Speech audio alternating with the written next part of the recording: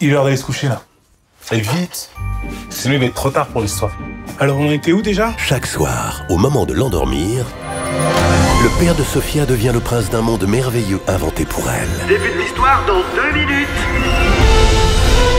Et chaque soir, J'arrive, princesse le prince sauve sa princesse. Jusqu'au jour où, Comment ça, pas d'histoire? Papa, j'ai 11 ans. Je peux me les faire toute seule, mes histoires maintenant. Tu comprends? C'est la fin, mon pote. Bonjour. Max.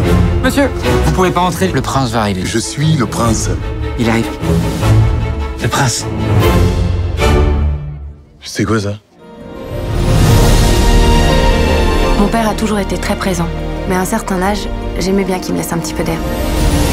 les oubliettes, c'est là où on envoie les personnages quand ils sont plus dans aucune histoire. Ils disparaissent. Pour de bon. Welcome to the oubliette Tu peux m'expliquer ça? C'est tout de moi Tu regardes pas mes Je textos fais ce que je veux, je suis ton père